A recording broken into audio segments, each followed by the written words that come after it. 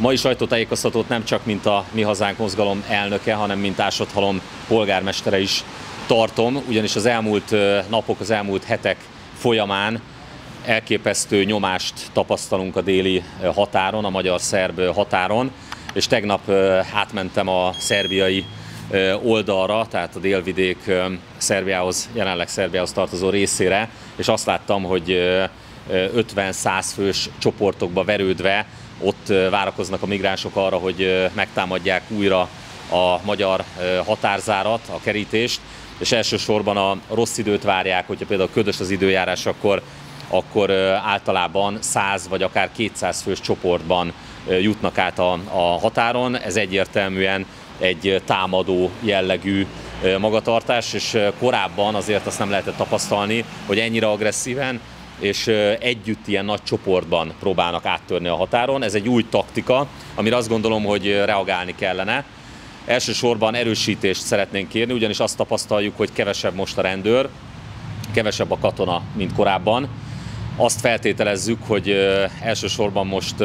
azzal a feladattal bízták meg őket, hogy a, a korlátozásokat ellenőrizzék, és így kevesebben jutnak most a határa. Mi azt gondoljuk, hogy inkább a határon kellene lenni, ez sokkal fontosabb, mint mondjuk a maszk használatot ellenőrizni.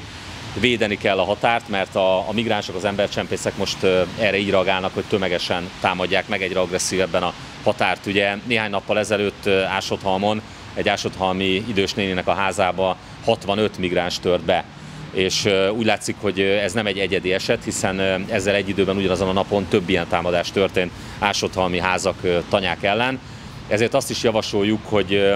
hallgassa meg végre a kormány azt a korábbi követeléseinket, hogy emeljék a fizetését mind a rendőröknek, mind a, mind a katonáknak, szerződéses katonáknak. Tehát egyrészt jobb munkakörülményeket, magasabb fizetést, nagyobb létszámot szeretnénk a határon,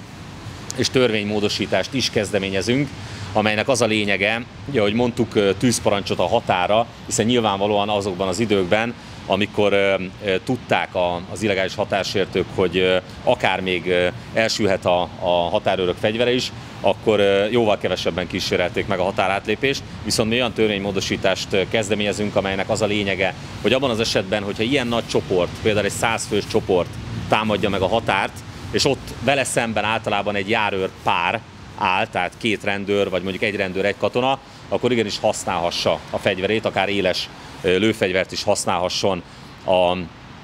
katona vagy a, rendőr, hiszen ez minősül egy százfős csoport támadása, az minősül akár lőfegyver használatnak is a mi véleményünk szerint, tehát legalább annyira veszélyes, mint hogyha egy marok lőfegyverrel támadnának a, a határőrökre. Tehát ezt a törvénymódosítást, ezt a lehető legsürgősebben a szakmai csoportunk, a kabinetünk kidolgozza és be fogjuk nyújtani.